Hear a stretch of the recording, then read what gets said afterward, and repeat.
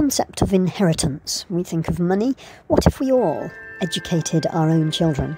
That would be a true inheritance. Would that lead to the same gross inequalities of wealth, gross inequalities of intelligence, IQ, wisdom, and all the antonyms of those? Would it equal out the wealth? Why? How? How to educate your own children. What would we find out about them and ourselves? Universal basic income is a concept, not a new one, but it's getting a resurgence because of the threat of technology. Technology is a monster. Non fungible transfers, non fungible assets are a monster. Artificial intelligence, digital realities take over real life. How long can we go on corrupting who we delegate to educate our children's authority? The absenteeism of the toilet pass taken on trust. The monopolisation of attention by poor behaviour, low level disruption, contempt. Children are monsters. Here I present to you a teaching resource for your home and a comparison chart to help your student identify how they're feeling right now.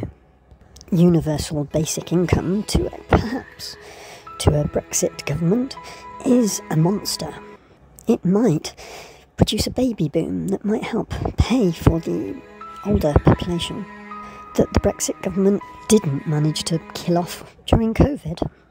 COVID saw a bit of an experiment in universal basic income. We were all paid to stay at home. Now, some people use that time productively. Not sure if I did. And generated other income streams, they tend to be called, don't they? What those people produce, would that lead to inflation, and so the universal basic income would become less and less and cost any government more and more? Or would it be more equatable to how luxury goods industries in the ancient regime in France were produced for the very few by the masses. Labour intensive luxuries could be improving the quality of human achievement and thinking and reason. What is universal basic income? It's an unconditional periodic cash payment that a government makes to everyone with no strings attached. There has been British politician recently that's said um, handicapped people should qualify for their income support by working from home. It's their duty. Benefit income support is a very different thing. There have been winter fuel payments since the war in Ukraine and the Russia gas pipeline crisis. This is made to everyone regardless of need. Could this be the start of a piecemeal universal basic income? Writers, politicians, and others have endorsed the idea of a minimum guaranteed income.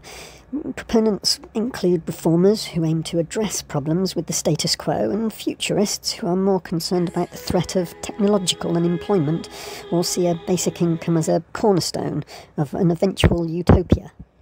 A utopia isn't only ever a good thing, dystopia doesn't really need to exist as a word because someone's utopia is someone else's nightmare.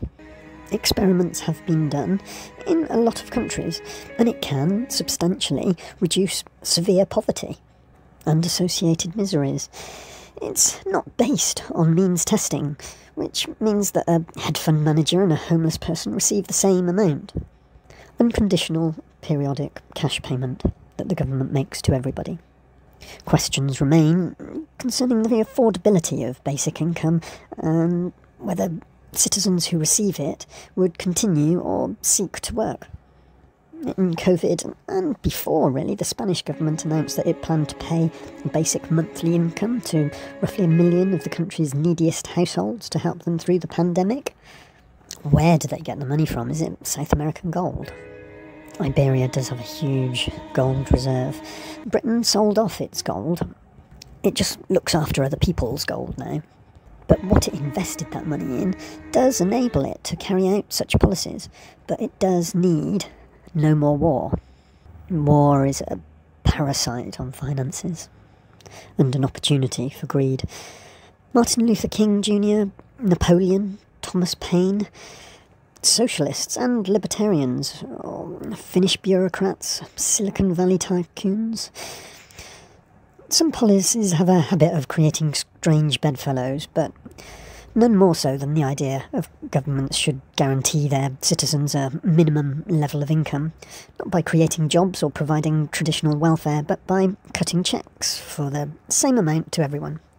We are all subject to the algorithms that are learning to perform a growing number of blue and white collar jobs, which means that there may not be enough paid employment to go round. As an architect, I've found this to be true in a stagflation, stagnated economy, which is good for the environment. If people aren't travelling to work in their masses, it's good for the environment. Could basic income, universal basic income, save the planet? In the 1970s, the 1980s, and the 1990s, there were student grants offered by the British government to the most able students to go to university and continue education. These have dwindled, and now there's student debt, which feeds a First Testament economy. After winter fuel payments, could reinstating student grants from government be the next step towards a universal basic income? that grand experiment. Can those students, highly educated students, then become overseas foreign workers for countries that need them? Do they become a welfare export, perhaps a little bit like the Philippines exports so many nurses? The Iroquois Native Americans were farmers, not foragers, and made an impression with their way of life on Thomas Paine and Henry George. AI will, like all human invention, take from society. It will dispossess more than half the inhabitants of every nation of their natural inheritance without providing for them. It, as ought to have been done without the triumph of greed.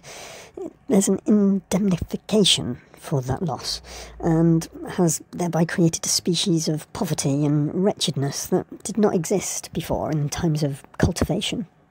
Paine looked upon it as a ground rent to be paid when you turned 21, and then a sum to be paid every year after that until Sioux Native American chiefs visiting East Coast cities were horrified at seeing little children at work. Understandably, during the Great Depression in America, 1930s, a minimum income was proposed and 300 times that as a maximum income the anthropologist studying the Kung people, hunter gatherers. Martin Luther King endorsed anthropological studies of this nature on universal basic income. 1950s, the first phrase. As so many things that could benefit the whole of humanity, the Reagan Thatcher era stamped on universal basic income. A coupon based stock market where you can't cash out your 401k. We have now come full circle to monsters.